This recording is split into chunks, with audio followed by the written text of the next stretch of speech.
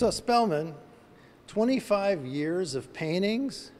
I didn't know you've been doing art that long. You're not that old, so I mean, tell me about this. Well, as a matter of fact, I'm 60 years old and I've been painting for at least 40, starting at college in Stanford when I really took it up seriously. No, I've been painting a long time. This is only the most recent 25 years. So, how come this isn't a 40 year retrospective then?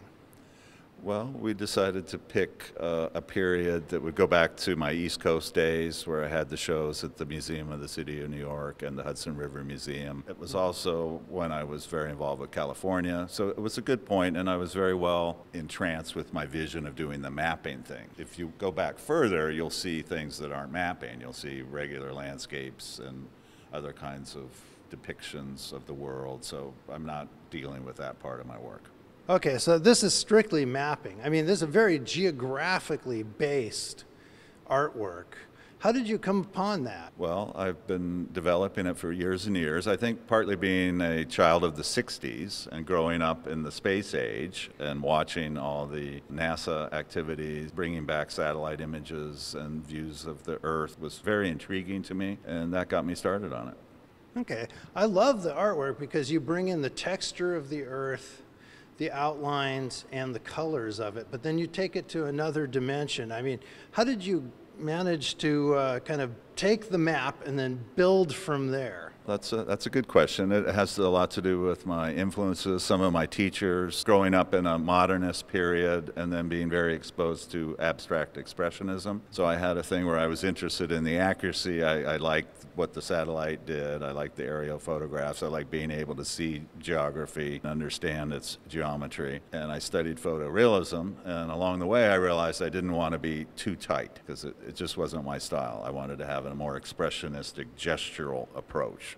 So I'm really combining two very different kinds of approaches to paint handling. The accuracy of a projected image that's coming from a photorealist based practice. I literally re-photographed satellite and area photographs, projected them. That's how I get the accuracy. I, I, I literally trace it to get started so that I don't have to worry about that. And then once I have that, I want to cut loose a little bit. I want to show the energy of the place. I want to show the dynamism. I don't want it to be too static. So I've got the combination of those two influences.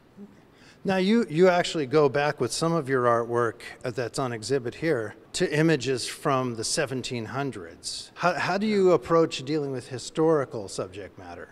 Well, it's, it's relatively easy. You, you find an old map and you do the same thing. You re-photograph the old map, project it, and go again. So where do you get some of your sources? Uh, you know, your sources for well, these. You know, I get them from books. These days, it's easy to get from the internet. Over the years, I would go to various libraries, uh, look at various collections. Uh, I was involved with various mapping societies. I have a huge collection of books of old maps. How do you pick which one you're going to uh, do for a painting? Uh, I, I, look to see if they're visually interesting and what the composition is, or if I can recompose within that. Mm-hmm. A lot of times the, the map was done for a specific region, and I may want to pick a portion of that. So I'm, I'm looking at the composition primarily, and then generally recomposing within that. Now you're you're doing a project now too where you're looking at a hundred year gap in right. California, correct? That's right. This is my sabbatical body of work that I'm just beginning. There's an example here. There's I think two examples here of the concept where I worked in New York using the older maps, and I got onto 100 years as an interesting time period. So in California, we're what? We're 2015, so I'm going to be going back to 1915, and I'm just starting to do that research. And there's a huge difference, of course, in California. 1915 it's sparsely developed. Uh, it's all before the wars, and it's going to be fascinating to see what I find along those lines. Now, is any of your work political in nature? Because I, I noticed there were a couple of pieces uh, about fracking, I believe, in South uh, Dakota. I'm generally not political. That's, that's usually not my interest. I try and stay out of that. Fracking, just because it's a phenomena and it has to do with geology and oil and gas exploration and layers and the landscape, that's why it's you know something that I've tried to follow. Now, what are you looking at uh, doing now? I noticed with your career, you've gone from extremely realistic depictions of geography to having a little more abstract touch to it, a little bit more free flowing lines and so forth. So, where are you going after this? Well, we'll we'll see where that goes, but I am trying to get a little bit looser, still have some level of accuracy. I've always had that expressionist impulse. If, if you look closely at the work, you'll you'll see a variety of paint handling and paint substrata that I've developed. Um, for years and years, I did lots and lots of uh, priming. Now I'm experimenting with not priming. I'm actually drawing onto panel and then I'm scraping away. So you'll see layers of color coming from underneath that's mm-hmm. drawing. I'm doing a lot of paintings that are actually, it's just white paint and the color's coming from the drawing that's impregnated into the board and then bleeds back up through the paint. I'm, I'm, I don't think I'm finished with that, so I'm probably going to continue with that. Once the work is dry, I go back and I take those surfaces and patina them. I sand them. Sometimes I, I do almost like an erosion thing. I knock them down and I take the little frosting tips, as I call them, that come off of palette knives that I tend to use. And then I beat them up and I rub them and I make them older and scuffed up. So, you're kind of like the god of Spelman's world. I guess so.